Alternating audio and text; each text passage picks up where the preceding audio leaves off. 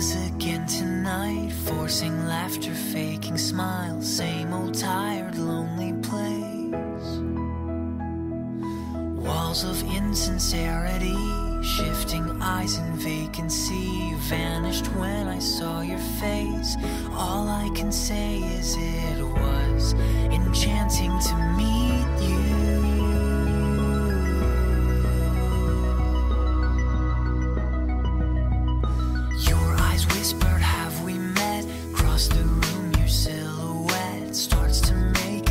to me. The playful conversation starts, counter all your quick remarks like passing notes in secrecy.